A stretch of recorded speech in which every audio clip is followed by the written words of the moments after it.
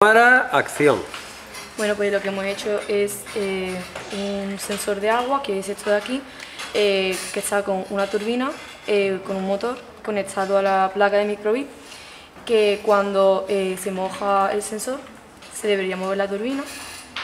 Dice el número aquí primero. Espera un segundo y mientras está mojado pues no se va a volver a mover, pero si lo saco y se seca, se vuelve a mover. Esto serviría si no tiene si tiene poca humedad, o sea, si tiene mucha humedad, se cierra y no deja pasar agua y no se riega, y si tiene poca humedad, sale agua, se riega, y cuando ya se ha regado y sube la humedad, se vuelve a cerrar, con lo cual no pierdes agua. Claro, el objetivo es medir el nivel de humedad de, la tierra y, de y no gasta más agua de la que... Aunque luego la van a llenar los ricos en piscina, pero bueno, ya está, venga.